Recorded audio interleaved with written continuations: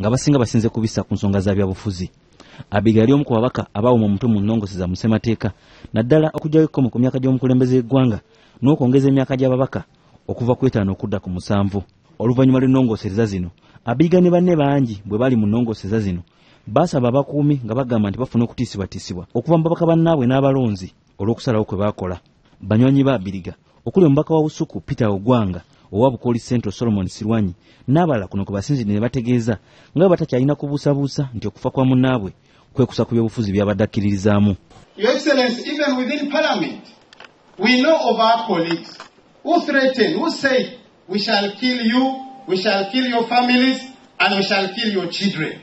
And here they have started.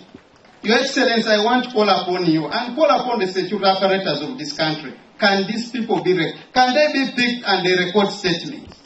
We are taking this test lightly, but today it's Ibrahim Africa. I am among the many omubaka omukyalo wa disitulikiti y'e luweero inginiya lilian nakate nga y'omu ku babaka abagambibwa okutiisibwatiisibwa agamba nga oggyeko ebyogerwa tebamanyi kituufu bantu bano kye babaagaza Si- simanyi lwaki omuntu omu yandibadde agamba nti anoonya nakate kubanga nze nkimanyi nti ebiseera ebisinga buli bwosukkuluma ku ddaala ofuna abakutunuulidde bangi oba abalabe bangi ofuna abatakwagaliza bangi aba- eh, so ebiseera ebisinga abantu ba- ba- ba- bamu ba- abamu balina emitima mibi just okuba nti baagala okulumya. Leero akulira oluvuganya gavumenti mu paalamenti wini kiiza n'abakulu abalala bavuddeyo ne basambajja ebibogerwako nti bandiba n'omukono mu kufa kwa abiriga n'abantu abalala bazze battibwa so omuntu okuvaayo nagamba omanyi bano aba opposition be basaabiriga kubanga bagamba nti yali mu amendments eza constitution yi abiriga of all people.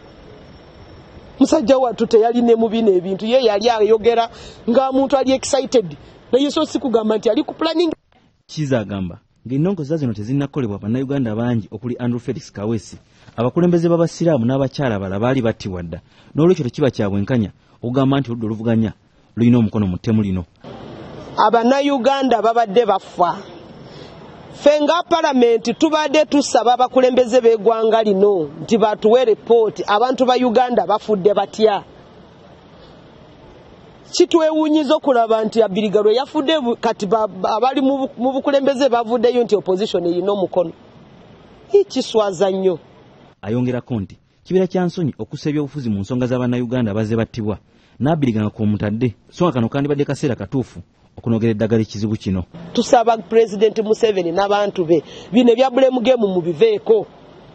Mugende ku nsonga enoonyereza abantu abase abiriga n'abali mukuta bannayuganda its not all about abiriga its about ugandans who are dying in mysterious senkakale w'ekibiina kya dp nobert mao agamba nti okujjawo nga gavumenti ekoze ku mivuyo egiri mu bitongole ebikuumaddembe saako emmundu ezitali mu mateeka ezeeyongera mu ggwanga gavumenti erina obuvunaanyizibwa okutukuuma ffenna naye bwe bituuse kati buli munnayuganda ampulira amanya nti toli seefu ffenna tetuli seefu naddala ffe abataliiko nabo bakuuma.